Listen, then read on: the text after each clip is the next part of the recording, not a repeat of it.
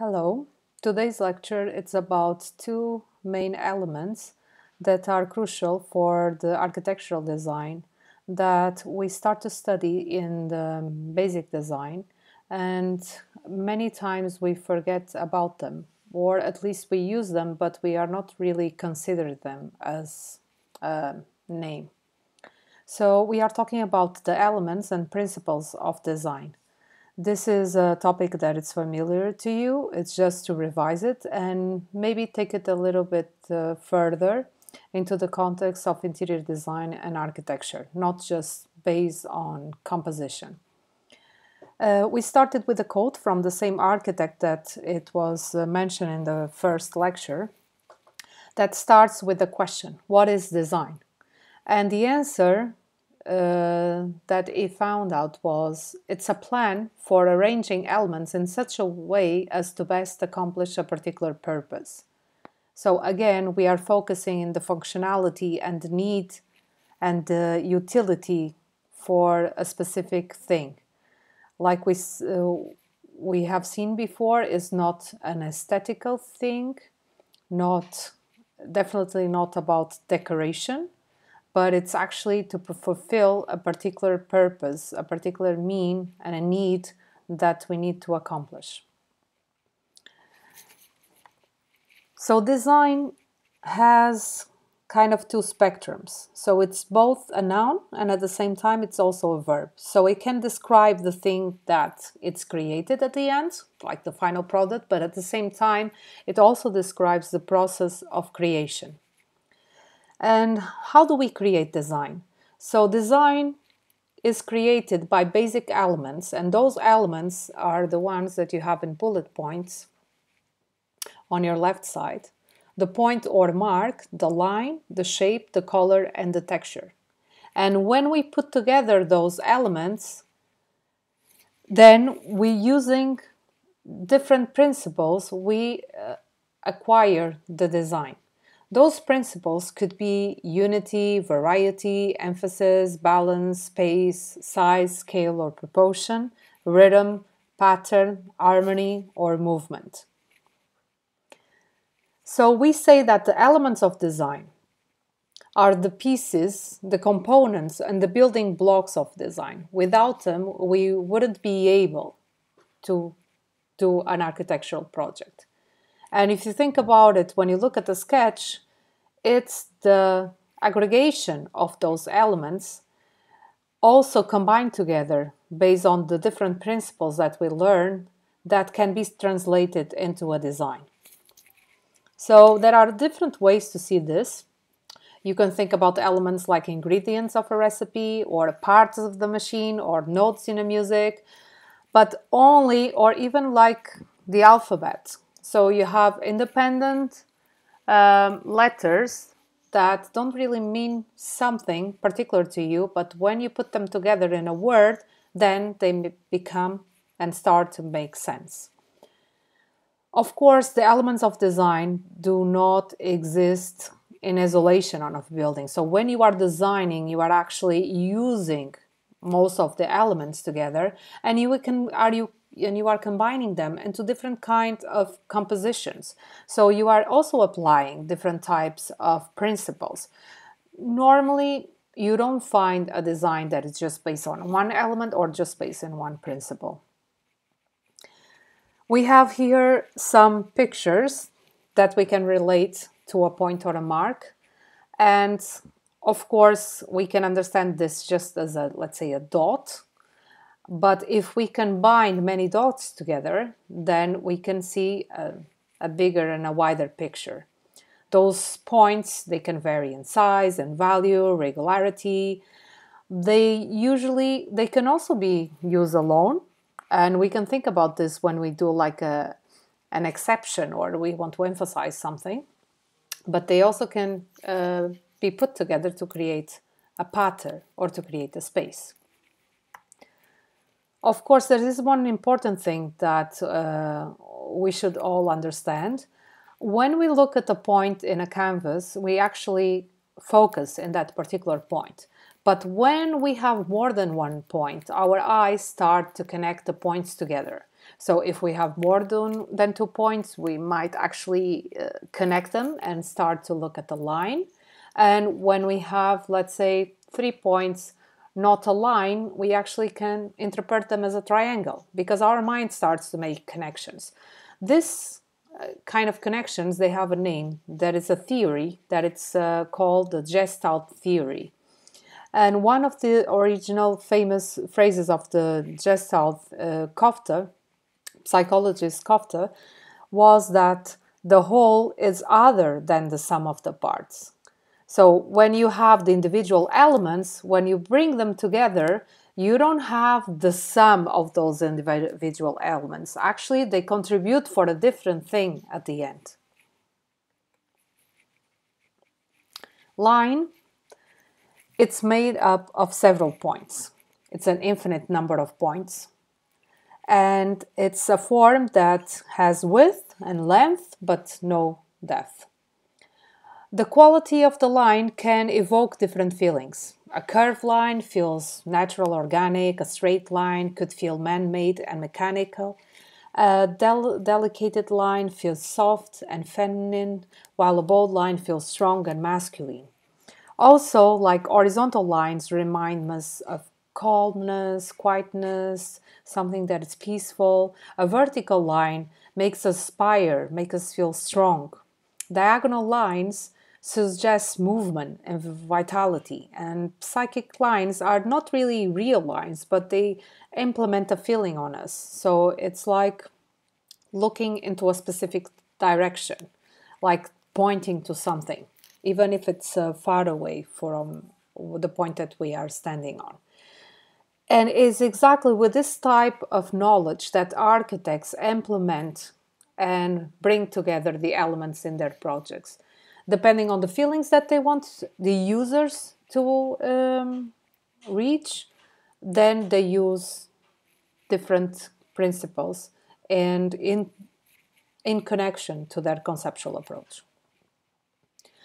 A shape, it's an area created by enclosing of a line. So we started with a point, a connection with multiple points give us a line. The line, the connection of multiple lines give us a shape and that shape encloses the area.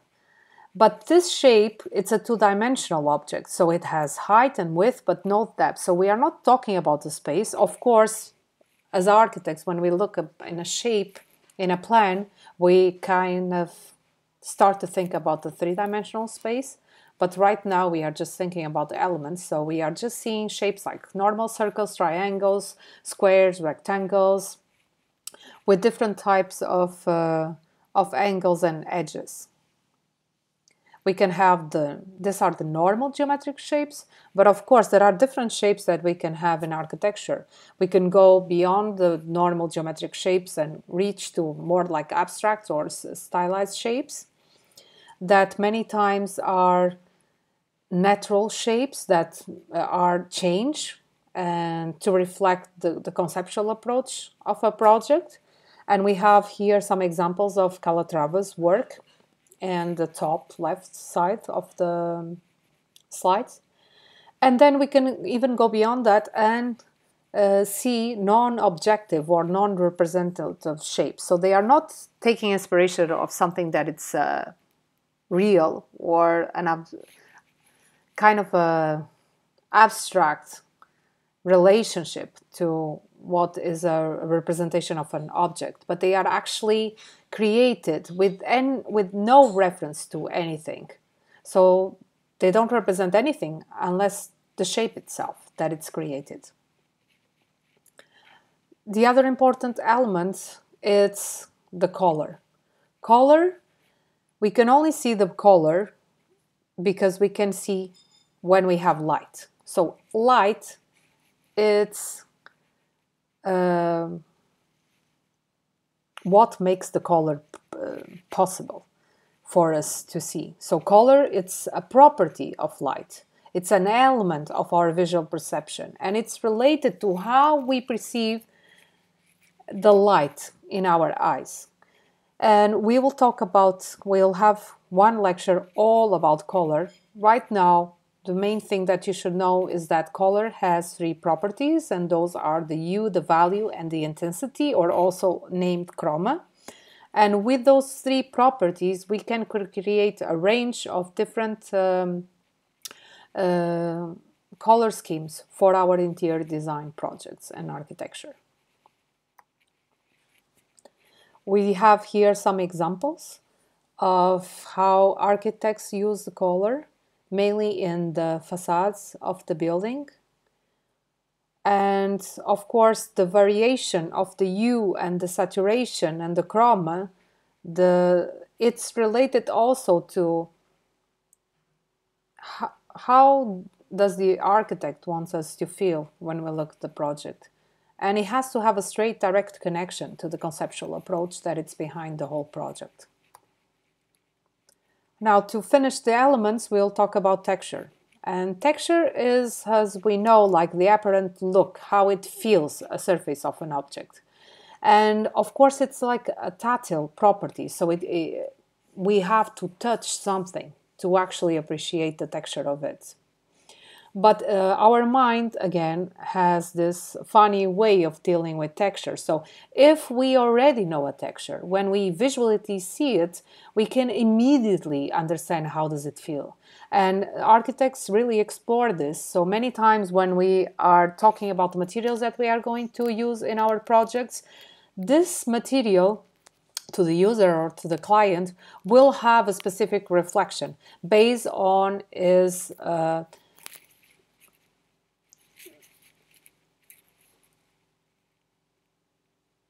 experience of reality. So, uh, many times an architect creates texture in a building by uh, certain choices of materials or by a rich layering of shapes or also by different types of forms. Now, regarding the design principles, the principles of designs are guidelines used to put the elements together to create an effective communication, meaning that they are the tools that are going to allow our design to speak and touch the users of the project. So we say that the elements are the what of a design and the principles are the how of the design. They cannot be separated from each other and they work in a dialogical uh, relationship. The first, the first principle that we are going to see is the unity. And unity, this happened many times with almost all of the principles. Uh, sometimes we know how it looks like, so we can imagine when I say unity or unit, you can imagine in your mind how does it look like visually? But sometimes it's harder to express it by words. So unity means the harmony of the whole composition. It means that the relationship with the elements, the visual relationship, works together in a kind of a same direction to provide the same images.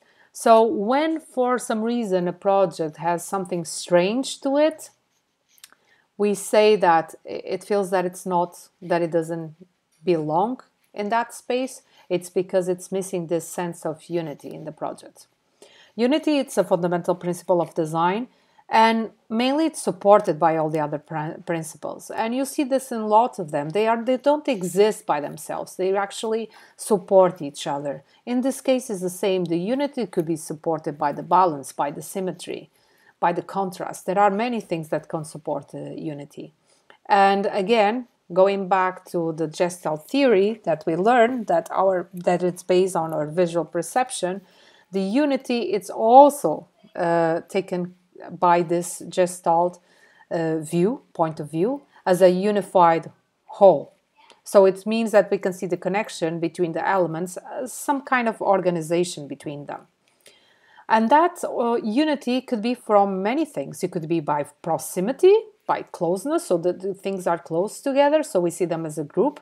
It could also be assembled and achieved by repetition. So you have the same element that it's grouped together by similarity, and it can be repeated in many ways. It could be line shape, color, value, texture. And then we have the alignment. So if the elements are arranged in a such uh, an, an alignment that it's common, we can understand it as a unity. Also, the continuation. If you see a line that continues from one element to another, even if there's a break between them, our eyes will see them in perspective as a continuity thing. So, this could also uh, belong to the same principle. Now, variety means to change the character of an element, to make it different. And variety, again, can be created by many different things. Variety provides a contrast with our project. So, actually, kind of means the opposite as the harmony and the unity. Uh, so they have strong contrasts when we use them in the design. We can say that without unity, uh, an image could be chaotic or unreadable, but also at the same time, we can say from the other extreme that without variety, it will be very dull and uninteresting. So, actually, to achieve a good design, both in interior design and architecture, it's how the architect balances and manages this relationship between the unity and the variety of the project. Here are some examples of uh, well known projects that are providing different types of variation of elements from line, shape, color, value, or texture. So, based on the elements, in the line, you can range from different thicknesses, thinness, value, color, angle, length. In the shape, you can vary the size, the color, the orientation, the texture, the type. With the color, you can change the hue, the value, and the saturation. And with the value, the darkness, the lightness, the high key, the low key, and the texture could be rough, smooth. Another thing that, uh, like the that give us a contrast, it's the emphasis.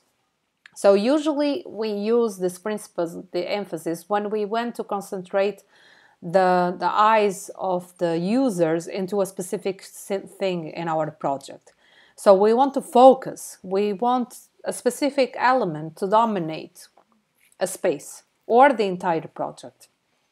So if this is one of your goals, then this should be something very attractive that catches the eye and that stops the view of the person exactly in that specific location. Um, without emphasis, without getting the viewer to be exposed to the and look at the image, communication cannot in, in occur. That's why many times you talk, we talk about, and you listen to things like the um, architectural path or engaging the user even before going inside to the building because we are trying to explore this idea that the architect has to involve has to gain the feelings uh, of the user to be able to develop a good project. There are here some more examples of emphasis. Like we said there are different ways to reach it. One can be created by contrast like we've seen in uh, Centre Georges Pompidou in Paris.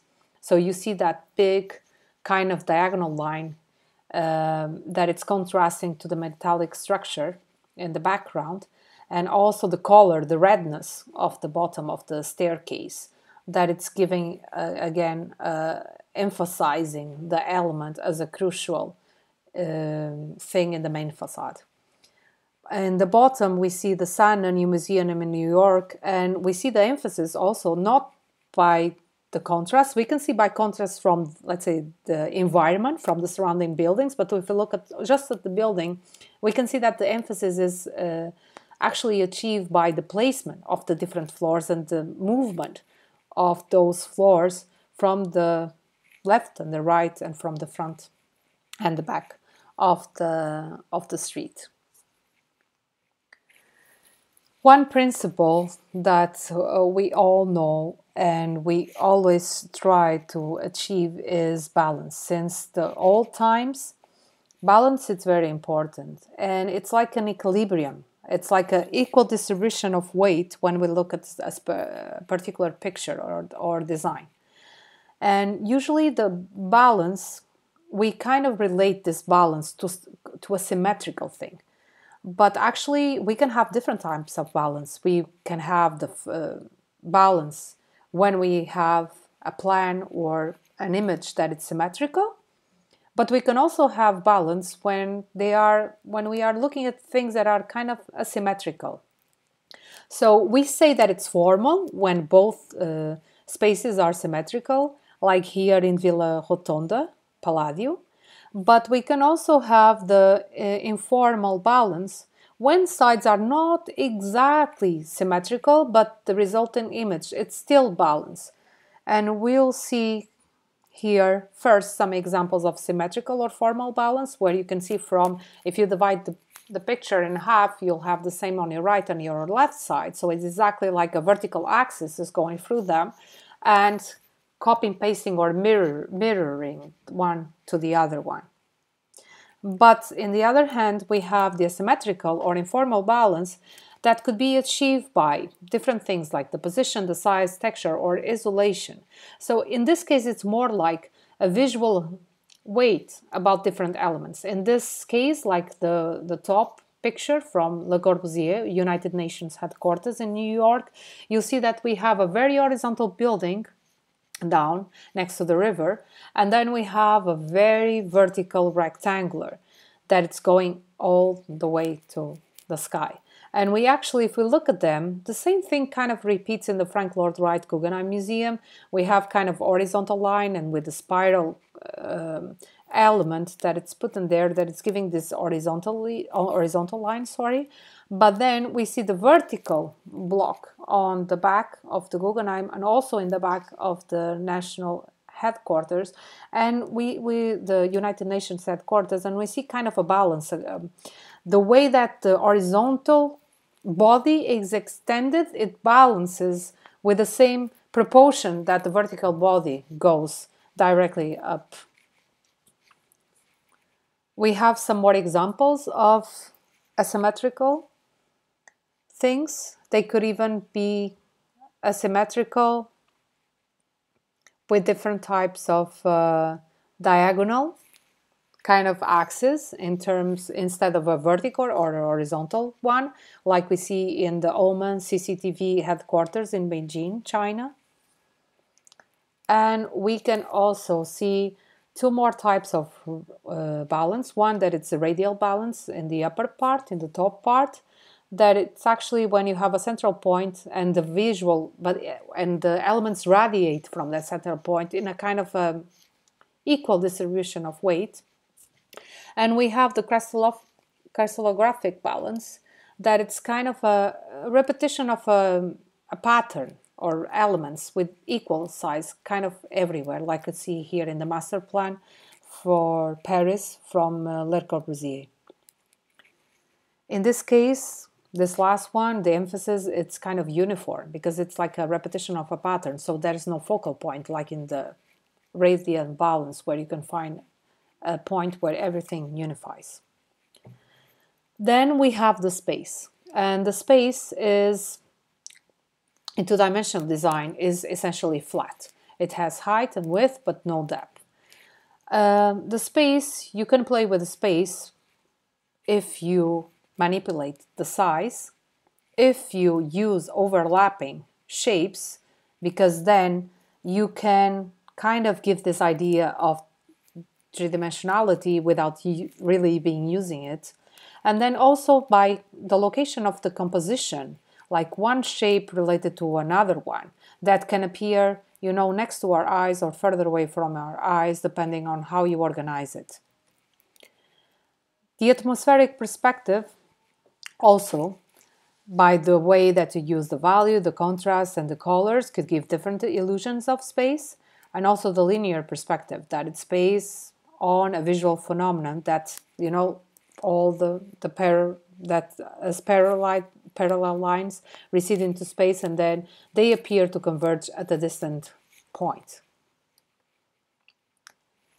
The size, scale, and proportion it's an essential point for us architects to understand. Because this it's the bridge between the three three dimension of our projects and the users. So it's actually to understand the proportion between a human being and the buildings and the spaces that we are creating. So architects understand that the starting point for our perception of something is the size of our own bodies. So we have different architects that explore the our the size of our body to reach to um, different type of let's say uh, like Corbusier used the Modulor. Before him Leonardo da Vinci had the um, Renaissance man that it was the most perfect man integrated in a circle and a square. So scale and proportion play a very important roles for architecture and it's it's important that we relate the scale of the human being always. So when we talk about proportion it's not just the proportion between the elements together but actually the relationship with the elements with the contextual scale and our us as human being there are different types of proportional systems. We are not going deeply into them, and I think most of you already know some of them. There is one that is golden ration, or the golden section, or the divine proportion. There are several names from the same thing. The golden section is a ration that is also uh, related to uh, the Greeks and the Fibonacci series. And we can see that there are many old uh, constructions that were actually based on this type of ratio. We have here some pictures of different buildings from different cultures, and they seem to kind of have uh, embedded in their construction, mainly here in the front facades, exactly this golden ratio or the golden section uh, Vitruvian Man was one of the first, like Leonardo was one of the first with this Vitruvian Man to talk about the dimensions and the proportions related uh, to the golden section. He based his uh, Vitruvian Man with the golden section, and then he also related to the architecture and to the buildings. Then later on, Inspired by Leonardo's work, Corbusier started to use something that he called regulating lines. That were lines that he used to kind of regulate the principles when he was putting the elements together how could he, could he achieve the different uh, kind of principles so he kind of uh, started to think about a strategy to make it easier to support his design and to make it um, kind of modular or uh, having a spine that control it. We see here in this Ville de Roche, but also we can see it down in the elevations of Ville Savoye. And we have here some pictures of the Ville Savoye. And later on, going, extending his work from the regulating lines, he actually, and you can see how you see the inspiration from Leonardo also in his sketches, how he developed into something that he called le Modulor. And those, the Modulor was actually based on the Vitruvian man and Leonardo, this uh, relationship also with the golden uh, section. He developed a theory of proportion and dimensioning system named Modulor.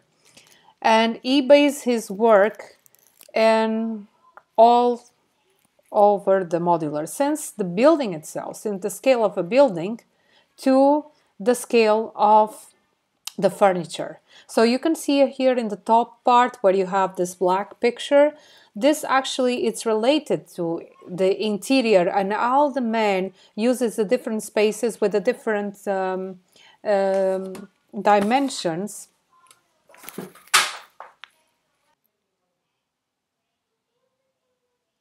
and we actually see an example. Now we go for the rhythm. Rhythm is uh, an essential uh, principle that it's acquired by the repetition of visual movements of the elements that could be colors, shapes, lines, values, forms, spaces, and textures. So, variety is essential to keep the rhythm.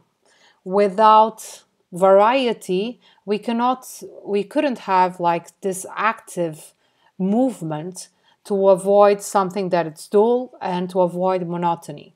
So actually when we think about we we think that movement and rhythm they have to work together as a kind of a composition a musical composition that can only be achieved when one or more elements are brought together and used repeatedly to create a feeling of a specific movement we have here some two different shapes that are giving us this feeling now Another element, uh, sorry, another principle that we have, it's the pattern.